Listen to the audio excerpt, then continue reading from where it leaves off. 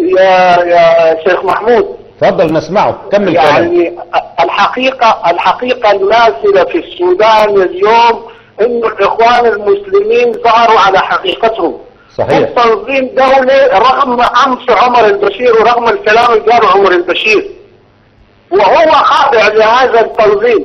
ودلوقتي الحكومة بتاعتهم ينطبق عليهم قول الله سبحانه وتعالى تحسبهم جميعا وقلوبهم شتى والأسرة الحاكمة أسرة البشير وأسرة نافع علي نافع وعلي عثمان محمد طه وهذه الفئات الطاغية التي جاءت باسم الإسلام.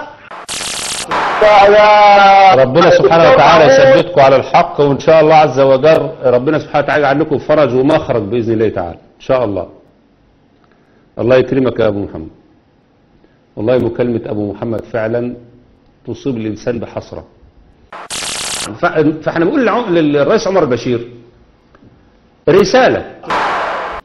إن كان فيك ذرة ولاء لهذه الجماعة فراجع فكرها يا سيادة الرئيس. والحق شعبك. كفاية كده. دي حاسس أنا حاسس بكلام الوقت كل واحد سوداني من من الشعب السوداني نفسه. الأخ بيقول لي في الكلام زي ما أنتم سامعين إن السودان مش برنامج اللي. هيصف الكارثة اللي موجودة في السودان. اللي موجود في السودان الآن الفقر حتى ما يعدي عليهم وما يبصلهمش أو هم نفسهم مش عارفين. الفقر بيقول لك يعني مش تحت خط الفقر. أسوأ من ذلك. لذلك إحنا بنقول أدي عمر البشير. ال- أدي حسن الترابي وهو بيتكلم عن عمر البشير. الآن لما حس الرئيس عمر البشير بالخطورة ديت وإن السودان ستسقط وهو هيروح إيه اللي حصل؟ بيتكلم على التنظيم الدولي وإنه خطر. طب والتنظيم الداخلي بتاع الإخوان؟ نصيحة من محب للسودان ولشعبها طهروا بلادكم من هذا الدنس.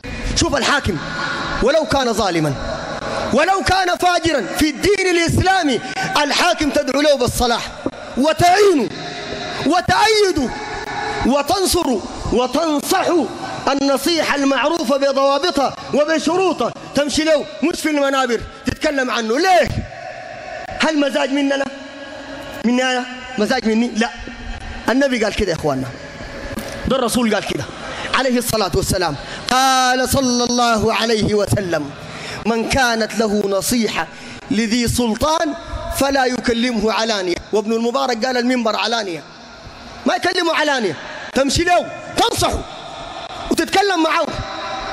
وليست لي مصلحة شخصية في هذا الكلام. بس أعرف المعلومة دي. ولو أردت أن أطعن وأسيء في الحكومة أو في الحاكم ليس هناك ما يمنعني. كلمك. قانون البلد دي ما بيمنعك تطعن في الحكومة. تتكلم في الحكومة زي ما داير. وتنبذ الحكومة وتنبذ الرئيس ذاته. ده القانون كده. حرية الكلمة. لكن ما الذي يمنعنا من الكلام؟ يمنعنا الشرع. الشرع.